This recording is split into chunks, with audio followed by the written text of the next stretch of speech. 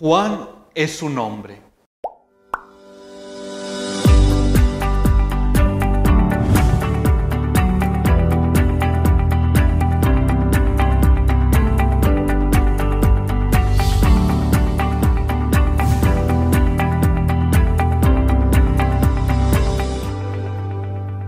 En el nombre del Padre, del Hijo y del Espíritu Santo. Domingo, día del Señor. El día de hoy festejamos la solemnidad de San Juan el Bautista.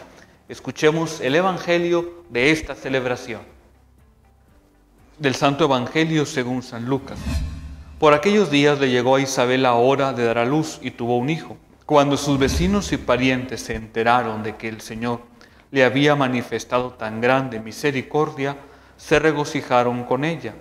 A los ocho días fueron a circuncidar al niño y le querían poner Zacarías como su padre, pero la madre se opuso diciéndoles, no, su nombre será Juan. Ellos le decían, pero si ninguno de tus parientes se llama así, entonces le preguntaron por señas al padre cómo quería que se llamara el niño.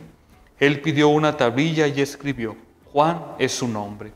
Todos se quedaron extrañados. En ese momento a Zacarías se le soltó la lengua, recobró el habla y empezó a bendecir a Dios. Un sentimiento de temor se apoderó de los vecinos y en toda la región montañosa de Judea se comentaba el suceso.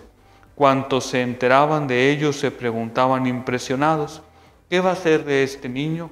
Esto lo decían porque realmente la mano de Dios estaba con él. El niño se iba desarrollando físicamente y su espíritu se iba fortaleciendo y vivió en el desierto hasta el día en que se dio a conocer al pueblo de Israel. Palabra del Señor. El día de hoy celebramos la solemnidad del nacimiento de San Juan el Bautista. El Evangelio nos ha narrado únicamente el acontecimiento que va en torno a su nacimiento, pero es contemplar toda la personalidad del profeta Juan el Bautista. Un hombre con un carácter totalmente recio, siempre valiente, hablando con la verdad. Recordemos cuál era su misión, preparar y enderezar el camino para que llegara el Mesías.